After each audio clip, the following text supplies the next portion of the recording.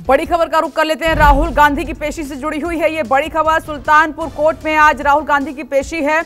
2018 के मानहानि के केस पे तलब किया गया है राहुल गांधी को। अमित शाह पर 2018 में विवादित टिप्पणी की थी राहुल गांधी ने और इसी के चलते आज स्थानीय कोर्ट में उनकी पेशी होने जा रही है। पेशी की वजह से दोपहर तक यात्रा रुकी रहेगी। दोपहर बाद अमेठी के फुर्सतगंज से फिर से यात्रा का आगाज़ होगा। बड़ी खबर आप देख रहे हैं। गृह मंत्री अमित शाह पर 2018 में विवादित टिप्पणी राहुल गांधी ने की थी और इस टिप्पणी को लेकर उनके खिलाफ मामला मानहानि का दर्ज हुआ था और आज उनकी स्थानीय कोर्ट में पेशी होने जा रही जिसके चलते भारत जोड़ो न्याय यात्रा कुछ घंटे के लिए स्थगित रहेगी और उसके बाद फिर से शुरू होगी।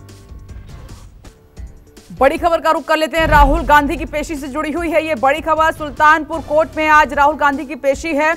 2018 के मानहानि के केस पे तलब किया गया है राहुल गांधी को। अमित शाह पर 2018 में विवादित टिप्पणी की थी राहुल गांधी ने और इसी के चलते आज स्थानीय कोर्ट में उनकी पेशी होने जा रही है। पेशी की वजह से दोपहर तक यात्रा रुकी रहेगी। दोपहर बाद अमेठी के फुर्सतगंज से फिर से यात्रा का आगाज़ होगा।